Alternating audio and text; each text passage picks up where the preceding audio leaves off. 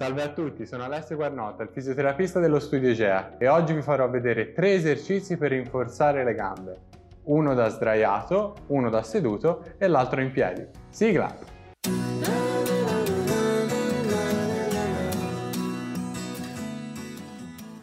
Per il primo esercizio ci sdraiamo a terra oppure sul letto, dove preferite.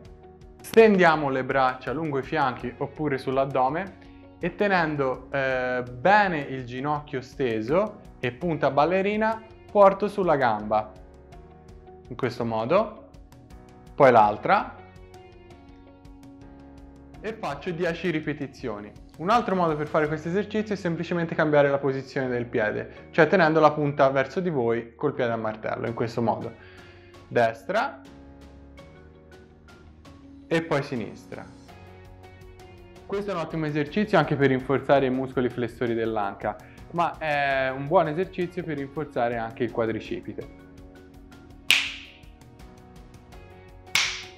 Per il secondo esercizio invece ci mettiamo seduti comodamente su una sedia, stendiamo il ginocchio, piede a martello, quindi con la punta verso di noi, e manteniamo la contrazione per 10 secondi. Una volta passati, porto giù dolcemente la gamba, passo all'altra, stendo, punta del piede verso di me. Dovete portare la contrazione al massimo per sentire che la parte finale del quadricipite sta lavorando.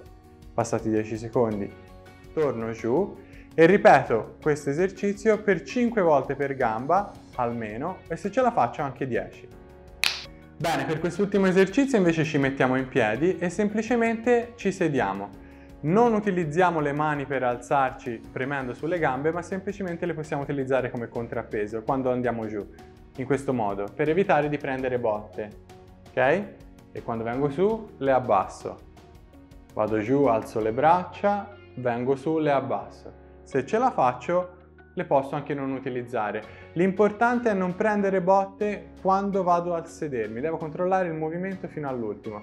Guardate, questo è il modo sbagliato di fare l'esercizio ok? Non devo mollare, devo controllare le, eh, il movimento fino all'ultimo.